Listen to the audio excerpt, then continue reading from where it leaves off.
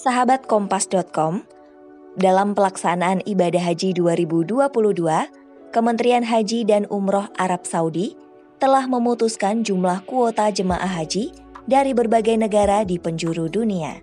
Indonesia mendapat kuota terbanyak dalam pelaksanaan haji 2022, yakni sebanyak 100.051 jemaah.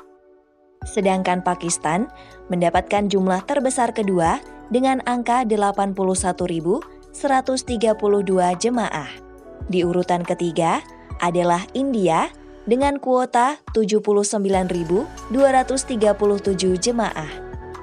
Selanjutnya, yang ada di peringkat keempat adalah Bangladesh dengan kuota jemaah sebanyak 57.585 orang. Sementara negara Angola di Afrika mendapatkan kuota jemaah paling sedikit yaitu sebanyak 23 orang. Dari sejumlah negara Afrika, Nigeria mendapat bagian terbesar yakni 43.008 jemaah. Di antara negara-negara Arab, Mesir menjadi negara yang memiliki kuota jemaah terbanyak, yakni 35.375 orang.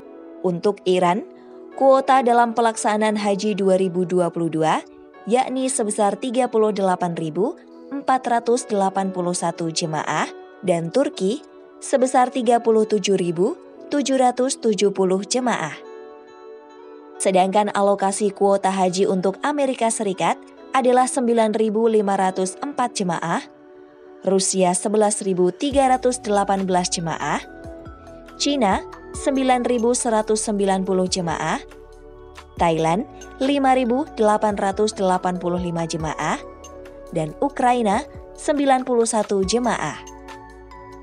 Sebelumnya, Kementerian Haji dan Umroh mengumumkan bahwa jemaah asing merupakan 85 persen dari total 1 juta jemaah yang diizinkan melaksanakan haji tahun ini.